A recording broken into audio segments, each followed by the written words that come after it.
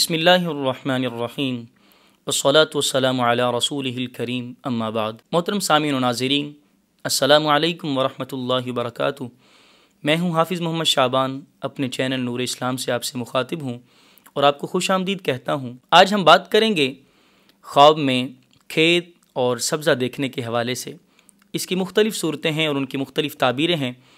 अगर आप भी इन तमाम सूरतों की ताबीर जानना चाहते हैं हमारी आज की वीडियो को आखिर तक लाजमी देखें। और अगर अभी तक आपने हमारे चैनल नूर इस्लाम पॉडकास्ट को सब्सक्राइब नहीं किया तो सब्सक्राइब कर लें और साथ में दिए गए बेल आइकन को ज़रूर प्रेस करें ताकि हमारी आने वाली हर नई वीडियो आप तक बसानी पहुँच सके। आइए हम चलते हैं अपने मौजू की तरफ़, यानी ख्वाब में खेत और सब्ज़ा देखने के हवाले से। ख्वाब में खेत देखना नेमत के हसूल और इल्म इजाफे की अलामत है। ख्वाब में किसी गैर के खेत को काटते हुए देखना किसी के कत्ल करने या अपनी औरत से जुदा होने की अलामत है।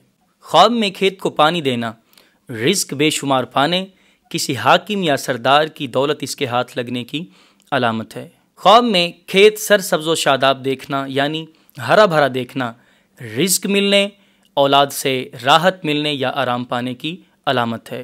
ख्वाब के अंदर खेत में चलना इस बात की अलामत है कि अल्लाह रब्बुल इज़्ज़त की तरफ़ से इसे जिहाद नसीब होगा। ख्वाब में धनिए का खेत देखना इस बात की अलामत है कि किसी मर्ज से सेहत पाएगा, मगर गुर्बत से परेशान होगा। ख्वाब में सब्जाजार देखना दीनदार, नेक किरदार और बुजुर्गी हासिल होने की अलामत है। ख्वाब में सब्ज़ा लहलहाते हुए देखना दीन में बुजुर्गी हासिल होने रिस्क बेशुमार हासिल होने और परहेजगार होने की अलामत है। ख्वाब में सब्ज़ा मुरझाया हुआ देखना दीन में कमज़ोरी और परेशानी उठाने की अलामत है। ख्वाब के अंदर सब्ज़े में बैठना, बुज़ुर्गान दीन से फैज़ पाने, बुज़ुर्गी हासिल होने और नेक किरदार, बा किरदार बाखलाक होने की अलामत है। अगर आपको हमारी आज की वीडियो पसंद आई है तो इसे लाइक करें और अपने दोस्तों तक शेयर करें।